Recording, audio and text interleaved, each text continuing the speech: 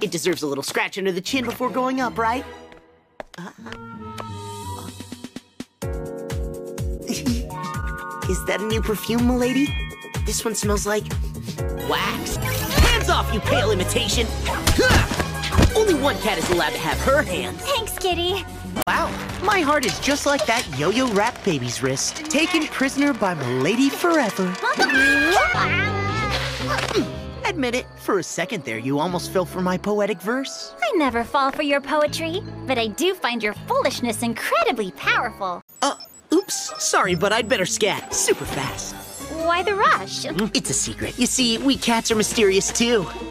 Found it. We do make a good couple, don't you think? Otherwise, we wouldn't have won again like we always do. That's right. Laugh all you want. Hey, what are you doing?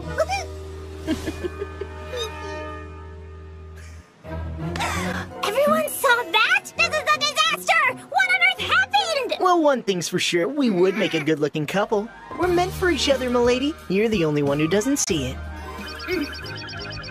But don't worry, Kitty. We're not gonna let her rain on Paris's parade. Hey, was that a pun I heard, milady? Yep. A little change is good, don't you think? I love that girl.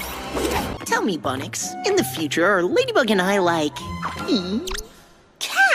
Hero's room! That's where she found Hawkmoth's statue. After you, milady.